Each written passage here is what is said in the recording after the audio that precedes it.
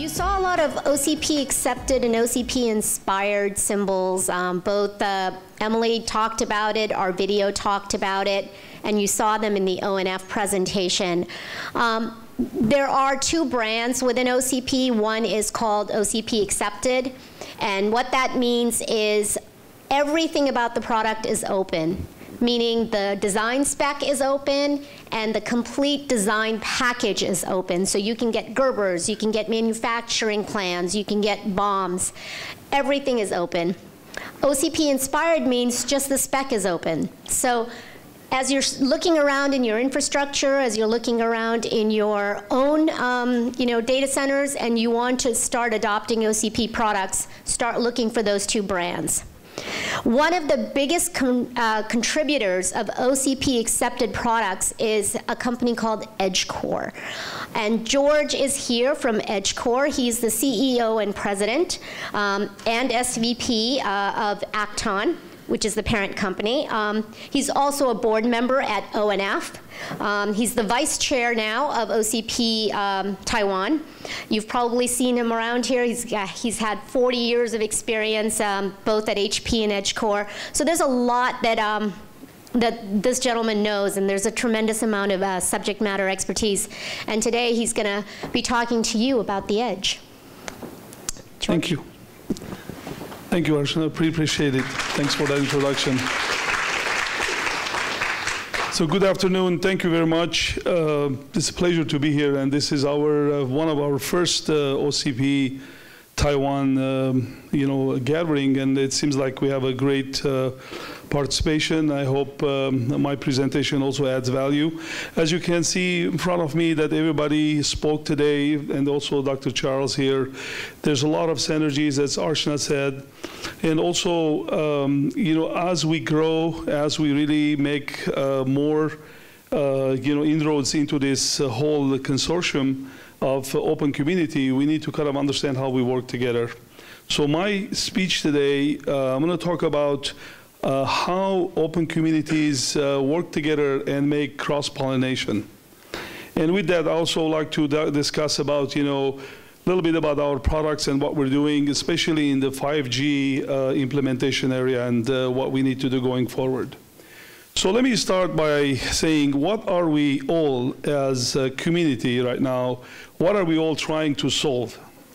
As all the uh, you know, presenters ahead of me presented that, you know, the bandwidth is going to be exploded. You've seen all the presentations, and relative to that, this is really a big move into the whole uh, change of the infrastructure. Infrastructure, if you, uh, you know, if we understand going forward, it will be 5G, AI, edge, edge computing, IR, VR, all these things going to require seriously always on infrastructure. It will re require almost no latency. It will high quality network and uh, high quality services. This is imperative. This is imperative that if we cannot do this, we will not get the benefit of, let's say, 5G and what 5G is promising, and all, all all the, all the IoTs promising, edge computing promising, and cloud promising. So to do that, what needs to happen is that the entire infrastructure has to be uh, upgraded. And if you need to upgrade infrastructure to keep up with the bandwidth, the cost is also moving up exponentially. To do that, we need to make sure that we reduce the, not only the operating cost, but also capital expenditure. And with that, definitely, this is where OCP comes, this is where the community comes, this is where openness comes, because we definitely need open infrastructure. It's sometimes called disaggregation or open networking, and other times called, you know, white boxes. And on top of it, have you seen this, the presentation from Charles, not only the hardware infrastructure, but also all the elements of the stack and all the way to the orchestration layer and automation.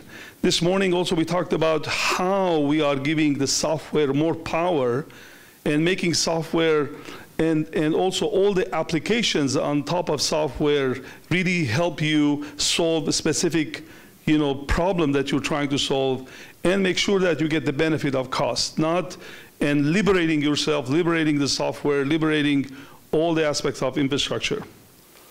Now let's talk about, you know, the overall, the 5G, a basic network. Just, just imagine this is a basic network. And then what are the things that we have to do to upgrade 5G?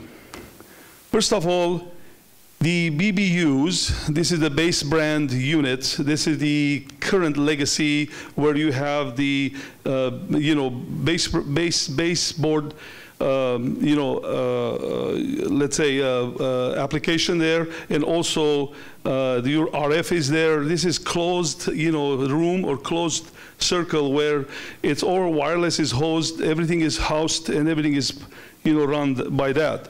These has to be open now into radio unit, into uh, computer unit, or into, you know, and also distributed unit. Second, you have to look at the fronthaul. Today, a legacy fronthaul is run by, uh, you know, WDM as the transport protocol. Very expensive, big units, and that is also need to be upgraded into radio over Ethernet. That needs to be upgraded from the WDM into Ethernet switching.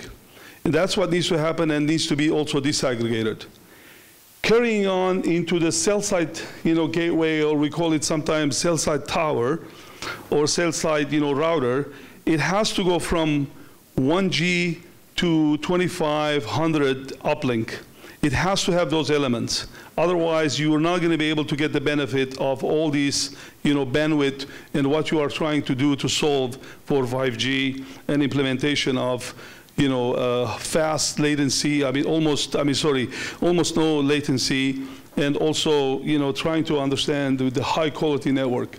Of course, then you have your aggregator routers, and this today has to be also upgraded into 100G and also 400G uplink. This is where the mega scale operators like Facebook, which we are working with, we introduced recently with Facebook the mini pack product. It's basically doing this not only at this aggregator level or a spine level, but also at the, at the eventually you can use it for 400G uplink. And of course the core. This is also central, very essential for 5G you know, upgrading all the way to the mobile core and Ethernet. And this is where even today, mega scale operators are thinking about 800G jump. So this is very imperative to understand this. And this needs very careful you know, uh, design, architecture, it needs a lot of manpower, it needs a lot of thinking, making sure that all these 5G gets implemented very effectively across uh, the network. Now, let's go talk about how these products are upgraded or how these products will be delivered. This is where we work with uh, OCP. We've been fortunate enough to have uh, working with OCP since ince inception of OCP with Facebook. And we learned a lot and we, we, together we contributed a lot. Here, definitely you need openness, as we all discussing all this you know, morning you need disaggregation, you need white box because this way you can control the destiny of your cost. You can really un unleash the, uh, let's say, unblock the uh, vendor lock-in. You can use the best hardware with the best software, with the best stack, with the best orchestration, and you can put it together as Charles was, uh, you know, explaining ahead of me. Now, so that's why open, you know, uh, community like Open Compute Project is very essential. And Open Compute Project today has about uh, more than, you, you've seen it in the morning, uh, more than, I believe, if I'm not mistaken, that, uh, you know, 15 work groups that are particularly tasked for each, let's say, module, if you call it, of the infrastructure to really enhance it, to work through it, uh, build it up, test it, and put it back in the community. So this is where the, uh, the, the imperative of OCP comes and why OCP is important and how OCP is really helping the community. Now, however, OCP needs active community members. And this is where we encourage everybody to join us. We've been part of OCP for a long haul. As you've seen from Emily's introduction, uh, uh, today we have, EdgeCore has submitted more than 29, I think, uh, you know, OCP uh, certified, OCP inspired, you know, products out there. And most of what Charles uh, was showing, he's been very modest because he needs to be neutral. But, but most of them are coming from EdgeCore today for test, for POC and implementation around the world. So this is why we encourage you to join us, to join the community, and, and uh, let's take it further and let's enhance it further together. So let me give you an example. This is uh, how the community works today. And if you look at this, this is one of our products. It's a cell-site router. It's cell-site gateway. We designed this with uh, AT&T, and we designed this with the uh, OCP telco group. This is the telco hardware, hardware OCP group. So after that, when we worked the architecture with this group and also with AT&T, we put and then worked with the another uh, OCP group or work group called, you know, uh, networking software. This is where ONIE comes from. This is where SONiC now comes from, and others joining. We work with another group within OCP called Hardware Management Group. This is where we take all the open components like Redfish API and put it all together as a distribution on top of our ASIC. And we carry it on to another work group with Linux Foundation called OpenBMC or Run BMC, which also is part of the OCP work group. And we all put it together, and EdgeCore Comms works with all, oops, sorry. What did I do? I apologize. EdgeCore comes and works with everybody and putting it this together and making sure that the product is ready, the product is tested, the product is supported and delivered. Now, this product is part of the OCP certified list, and it is being used at AT&T as well, just to give you a perspective. Carrying on, so who are these open communities? And uh, my talk today, as I said, it is more about also how these all communities are working together. Charles is part of, uh, we, you know, Charles is part of uh, ONF. Of course, we all here are because of OCP. We have TIP, which is a telecom infra project. And I'll show you a minute, I show in a minute right now how we work with TIP as well and OpenBMC. And all other red dots are there. There's, there's plenty of coming. And this is how the, all the community is coming together. And, and this is how you take from the community, you put it back to the community, and you grow with the community because you will have the entire community behind you doing innovation and fast innovation. It's, you're not alone anymore. And this is where the beauty of it, because you can take best of the community, enhance it, use it to your own specific needs and use case, and on top of it, you know, bring it back to the community. Trust me, people feel like, oh, it's my IP, how can I want to share it, why I need to share it. Trust me, it helps. It helps your organization, it helps the community, and believe me, together as innovative power, all of us have a piece of this, all of us can make money. Now, let me explain about how these uh, open communities are collaborating, how we are working together. The other slide that I showed you, this one, sorry, going back, it's how within the OCP work groups this is working. Now I'm going to go show about how collectively with other communities we are making another progress. And as Archana said, it's very, very complementary. The middle product here, it's uh, our product two from EdgeCore. It's called Cassini. It is the uh, coherent optical packet transponder box, which also includes Ethernet ports. It connects data center to data center. This is another element of CORD that Charles explained to connect data center to data center. It has nine, oh, sorry, eight slots for coherent optical you know, modules. It can be ACO or DCO, analog or digital. You can write the S curve of technology, and this box can last forever with all the optical devices that are coming. We work with Acacia, we work with NTT Electronics and others for the modules. Now, having said that, this was also designed by, uh, or, or in conjunction, we made this uh, design with TIP, tele, tele, uh, Telecom Infra Project. And with that, it went ahead and uh, we worked with ONF, uh, with Charles's team. They provide the uh, SDN controller and some of the software. We work with the OCP to get, again, the hardware management. And with Linux Foundation, with the uh, with OpenBMC, putting it all together, again, testing it, evaluating it, certifying it, and putting it in the community. This product is also part of OCP certified. Now, since my company is paying my bills, so I need to talk a little bit about our products as well. but just a sample, okay? Just a sample. I'm not here to to, uh, to promote ACT and EdgeCore, but I just want to make sure you understand why this is important and why we're what we're trying to do.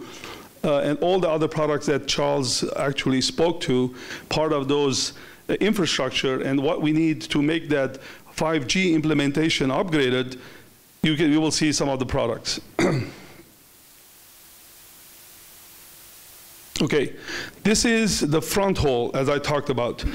What we're trying to do here is making sure that this fronthaul product is changing from WDM transport protocol into uh, Ethernet, Ethernet transport or Ethernet switching.